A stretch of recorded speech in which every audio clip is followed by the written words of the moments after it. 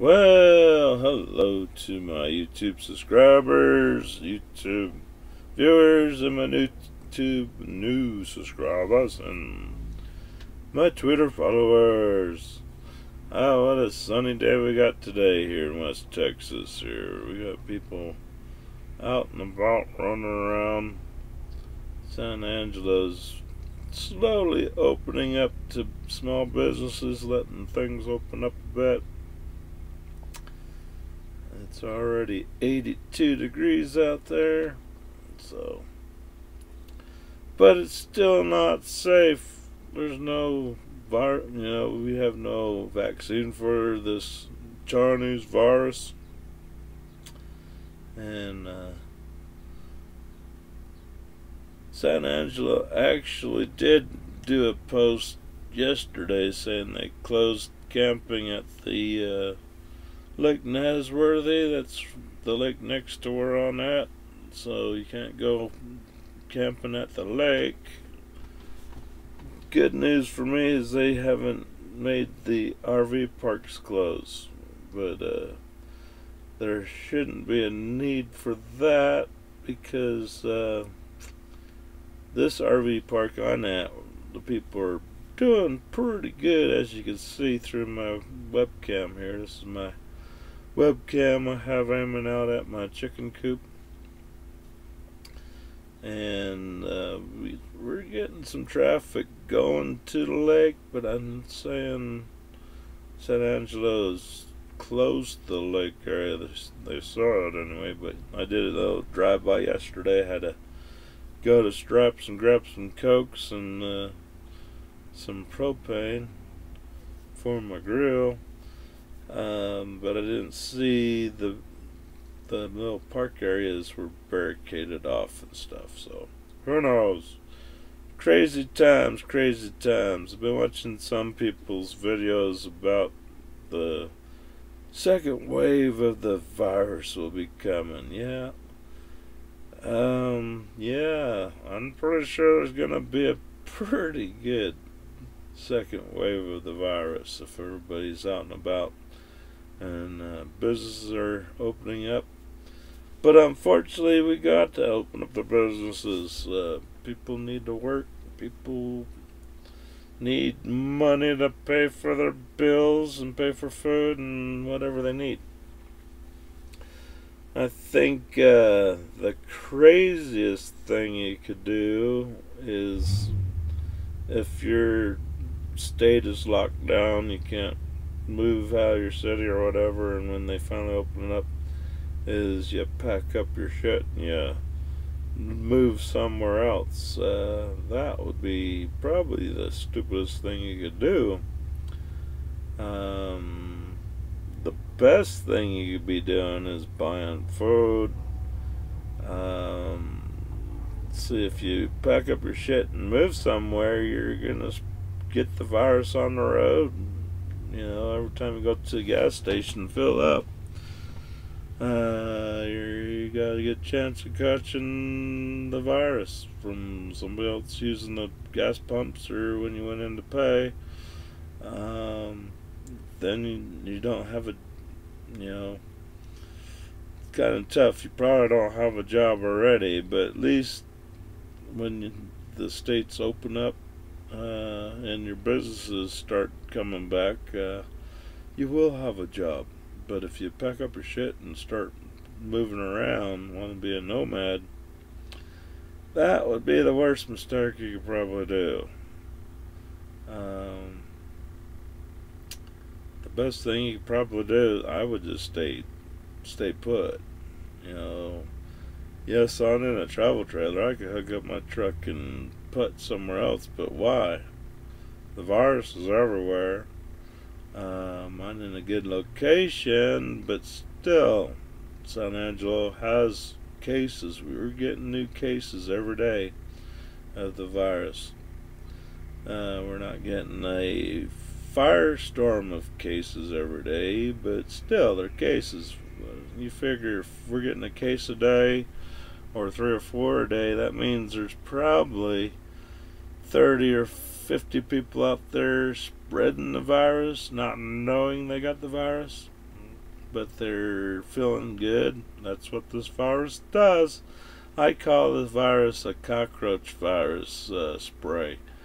Um, it's a delayed kill. It's designed to let the cockroach go back to its home and give it to its babies and its uh, mate and family, and then boom, it kills you. So it's like a ticking time bomb. Gives you about a week to live, two weeks, or you might be. I don't know if it's lucky. I wouldn't want to be a, uh, a survivor that's spreading it. You know, you won't get sick. It'd be kind of like getting typhoid. Uh, when the typhoid shit hit America, people were dying left and right. Um, there were people that were carriers. They were fine. And what happens with typhoid is if you were like a cook or something and you cooked meals for people, it would kill those people that you fed and cooked for. And that's why there's a you can look up typhoid typhoid Mary on YouTube and it'll tell you the story of that lady. She was a carrier. She would get jobs for people at homes to be their personal cook. And next thing you know, that family would die. She would move on to the next family, saying, Yes, I know how to cook very well. And indeed, she probably did. But unfortunately, she was a carrier. And unfortunately, with this Chinese virus, you have the option you could probably be a carrier too. Um, and you don't have to cook for anybody. All you gotta do is just be around and sneeze and cough on somebody, and boom, they got it. And they're gonna go home to their families, and boom, they got it. So it's a it's a big circle. So you do have to wear your mask and have some kind of good safety glasses because you don't want a big old loogie going in your eye if somebody sneezes or coughs next to you and doesn't cover their mouth or something or didn't have a mask. Uh, then you'd be going, oh fuck, I'm dying. So, no, I was watching one video though. Some guy sitting in the middle of the woods is saying, you know, this will be your time to move out, go out in the woods and get away from that shit. Um, it's a tough deal. Even if I was stuck in a little apartment or something, uh, at least you got city services there that will try to help. But you go out in the woods and try to be a Mr. Camper. you don't have electricity, you don't you might have a generator, but you gotta get gas. Uh, there's all um, you can only have so much gas to run your generator. Um, you know, you might have a gun and shoot some deers, but that's kind of illegal.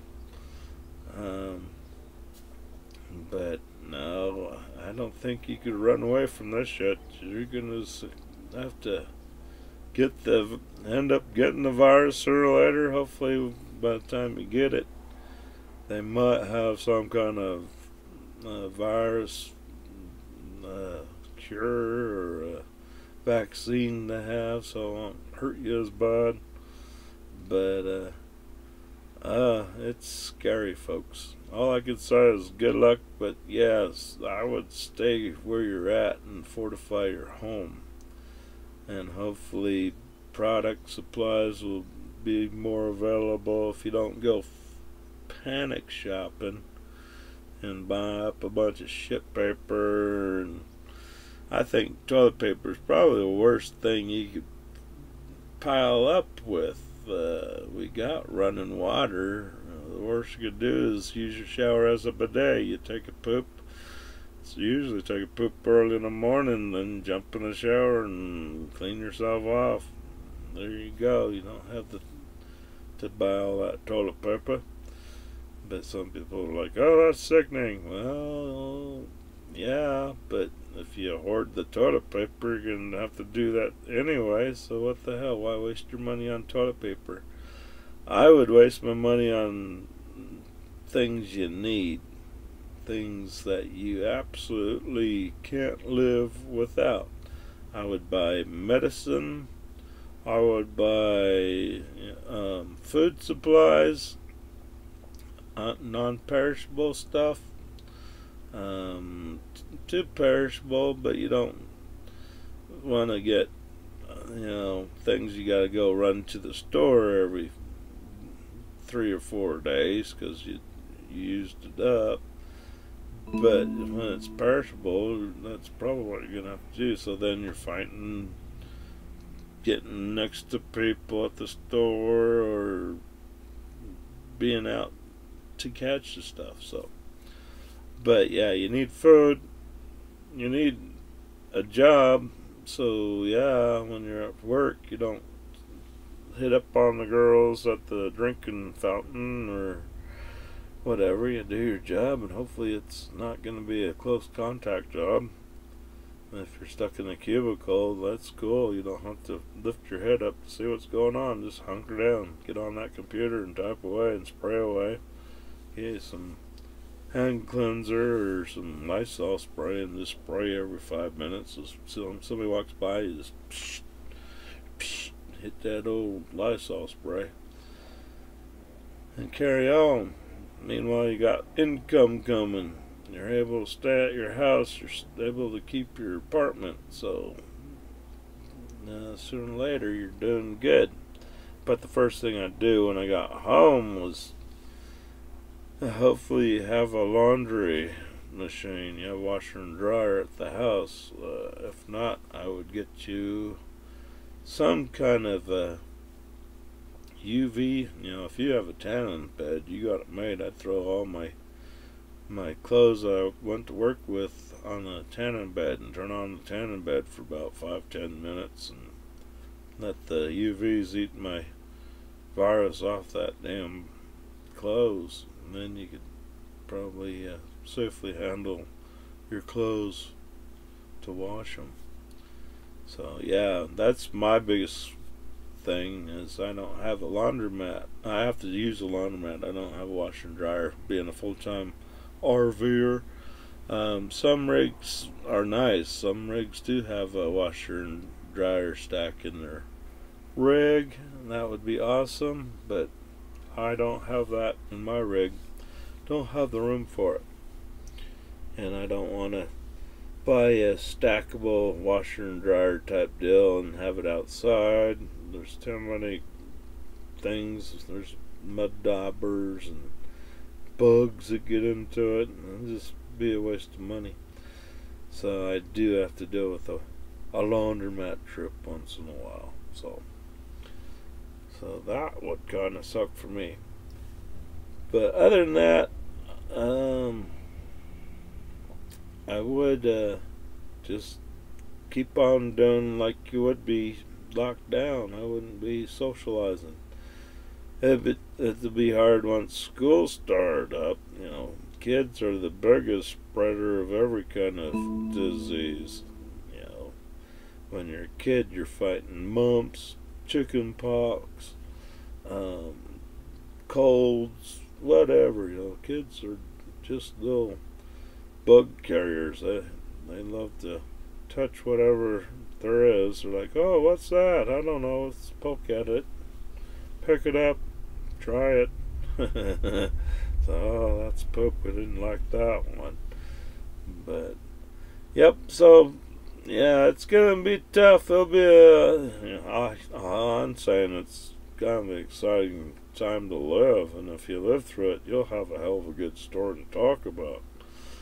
But uh, yeah, the next following months, it's gonna get tough, people. Um,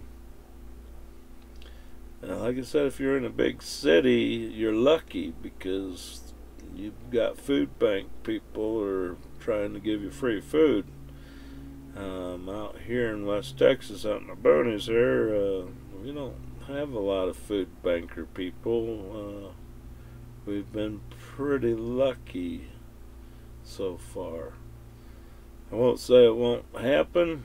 You never know. I've been real, been real surprised. Uh, I thought for sure fire, uh, San Angelo would go underneath the firestorm. We have like 150,000 people in San Angelo. And the people out here love to socialize. They love to go out and do things, uh, shop and go to parks, go fishing, go boating, and hang out together and have a good time.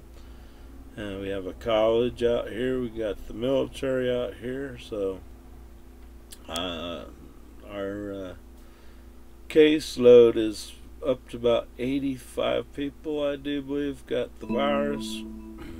So I was real shocked at those numbers. I don't know if that's real or not. And who knows? Uh, we might have a lot of people stay sick. They figure, ah, I just got the flu. I got, I might, I just feel bad, so I'll stay at home and then finally they wait till they're like totally almost dead. Then they call the ambulances come get them, and it's like, well, shit, you had the virus for about four weeks. now you're now you're gonna have to be on a ventilator and uh, see if you make it or not. Uh, meanwhile, you, four weeks of spreading the shit around, so they're oh crap. So yeah, people, be safe out there. Don't be stupid. Still be your distance. Will save your life if you want to hold hands and hug and kiss and all that fun stuff. I call this the stupid killer virus. Uh, it's killing those people pretty quick. We could kiss and hug later. Alright, well, thanks for watching, everybody. Have a fun day. It's, it's going to be a nice warm day here. And uh, as you can see, we got some joggers and walkers back in there. Heading towards the lake. Um, we'll see what happens. Like I said, uh, I did read that San Angelo closed the parks and the lake here from uh, May 7th till the May 31st, but on Sam, people out here walking down the road to the lake, driving on the on the road pretty frequently, so I didn't know what's going on. But uh, they're not following the San Angelo's uh, closure thing. Alright, well, hopefully we'll talk to you sooner or later. I'll need to get out there and do an outdoor video pretty soon. But like I said, it's pretty dead out here. There's nothing much going on. Uh, the RV park, people are pretty much going to work, coming home, staying inside, or they'll be outside the rig. And that is okay because our spaces are pretty spacey. We uh, have a good uh, 30 or 40 feet in between the next rig, so it's not that bad. Um, I've seen other uh, RV parks where you're just parked next to one rig. It's kind of like staying at Walmart's parking lot. You got a car next to you, and on the other side you got a car next to you, and they're bumping doors. That would be a crappy RV park to stay at. Um, that's too close. It comes handy when you want to open up your window and hand hand your neighbor a coffee or a breakfast or something. They can undo their window and you can swap lunches or breakfasts that way. But other than that, I wouldn't want to stay there for too long because that is too close. Um, but other than that, just hanging out, watching YouTube movies and things like that, and uh, doing some sub for subbing, trying to get my sub count going. So we're getting it. We got some new subscribers today, and uh, I'll be doing a shout out to my new subscribers. I haven't seen any new people show up on my sub page yet, but we'll do another shout out probably in about 10-15 minutes we'll do a, a shout out video to all my great subscribers that gave me a sub. And when they land on my sub page I give them a sub back for letting me go up the ladder so I pull them up the ladder. But unfortunately I do get people that like to unsub and that's okay. They could unsub. But I know who subbed to me so I could find that person and unsub them and that's fair. If you throw me in the dirt I'll throw you in the dirt with me. You let me climb the ladder I'm going to take you up the ladder one step too. So that's how I work my channel folks if you want to give me extra support by commenting on my videos that's awesome that's where I make money. I don't make money on subs, but unfortunately, I don't have a thousand subs yet. Um, so I'm not making nothing on my channel. I'm just uh, trying to get my channel back to where my old channel was so I can start making some pennies a day. So, meanwhile, take care everybody. Thanks for watching and stay put. Like I said, the very worst thing you could do is pack up your shit. Think you want to get a travel trailer? and uh, do what I'm doing. This is full-time RVing.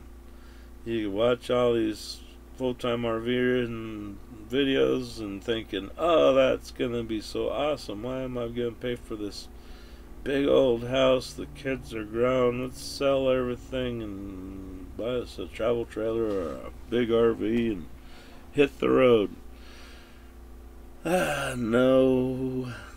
Um, it takes a special person to do what I'm doing. There's a lot of special people out there who could do it. A lot of special people will do it for about a year or two and say, you know, this kind of sucks. I think we'll just stick to maybe vacation times or getaways. I do recommend you getting a, a little travel trailer. They are sweet and they are, it's like home away from home. But when you're on the road, that's where your adventure starts, because all sorts of shit hits the fan when you're on the road. You could blow a tire, you don't have a spare, um, you don't have a jack, your car breaks down, then you're screwed. You're like, oh, where are we gonna stay? You know, are we gonna leave the trailer on the side of the road? No, not for long.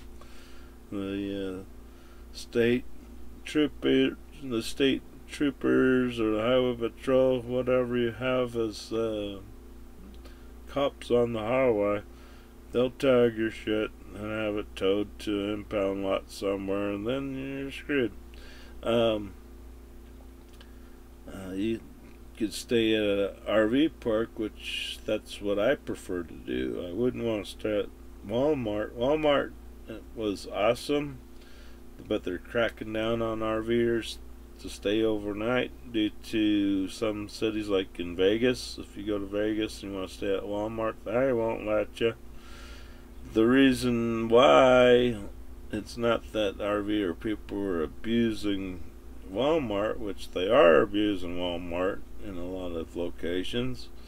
Uh, but from the get go in Vegas, uh, they wouldn't, Walmart wouldn't let you stay there because there's a bunch of RV parks across the road are saying, hey, uh, you're making me lose my fucking money, man. You need to get those fuckers out of your lot send them over here. And Vegas is a shit town to have an RV over there because they rip you off. They have like a RV tax when you first pull in, and that's like twelve hundred bucks plus the rent for that month. And that tax is like a one-time deal, or for at least six months. They don't let you stay full year round there. They make you stay. They'll let you stay for six months, and then they'll tell you you got to leave. You got to leave for a day, at least one day. You got to pull out your spot and and then you come back the next day and guess what? You got to pay that twelve hundred dollar RV tax and then pay your rent on top of that. So I don't know what's up with that tax. I think that's a fucking ripoff. Um, but yeah, Vegas is not a good place to go. You know, unless you got the money.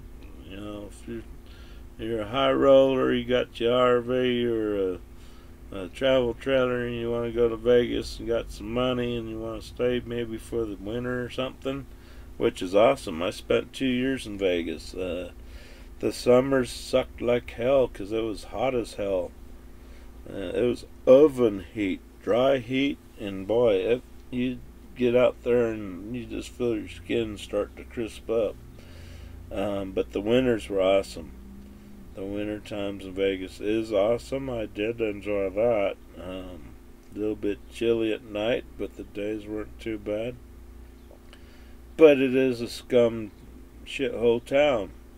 You know, you go to a casino, you think you see a good looking woman, you want to say hi, or vice versa, a good looking girl comes up to you and says hi, and you're like, oh, I'm going to score. Yeah, if you got about 50 or 60 bucks. It'll be some damn prostitute. It's like, oh, fuck. Thanks, man. I thought I was gorgeous. But no, some dumb hooker wanting to make some money. But what can't blame them. That's what they're there for. But that's Vegas for you, though. But uh, I do enjoy where I'm at. Unfortunately, I lost my mom. My mom lives at the lake here, and uh, I miss her. But I do have a couple sisters that live out here, so that's not too bad at all. And uh, San Angelo's not a bad town to be in. Everybody's pretty friendly. Um, can't complain. This RV park's not the best RV park to stay at. There's no not, not a lot of benefits for staying here other than you have uh, free water and a, and a free sewer hookup next to your rig so uh, uh, you don't have to pull your trailer somewhere to a dump station to drain your tanks every other day or so.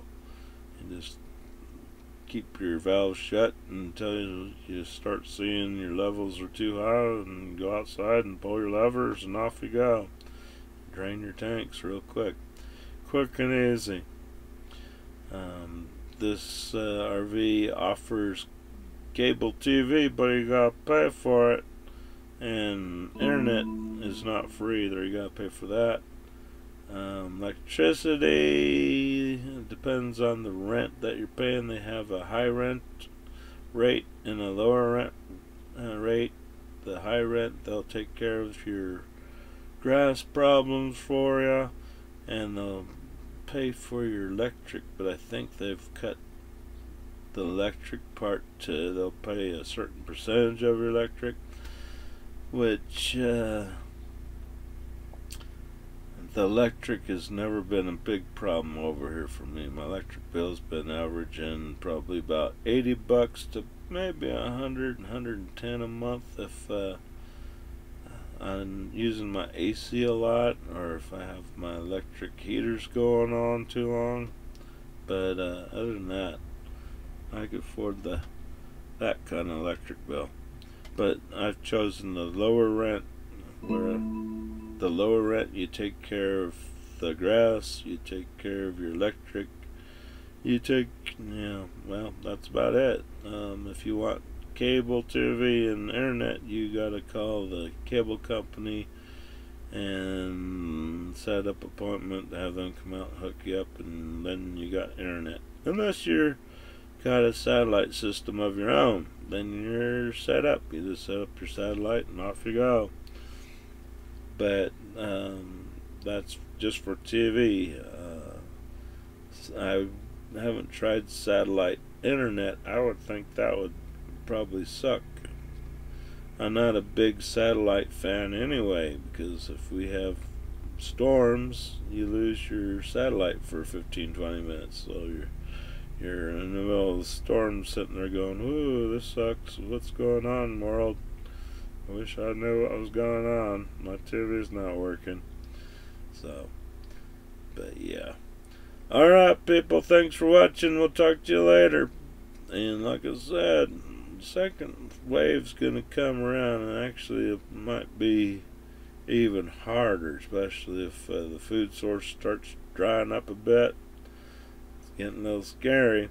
But the good news is we're still springtime. It's not too late to get you a little garden going, unless you're stuck in an apartment. That would suck unless you got a little balcony.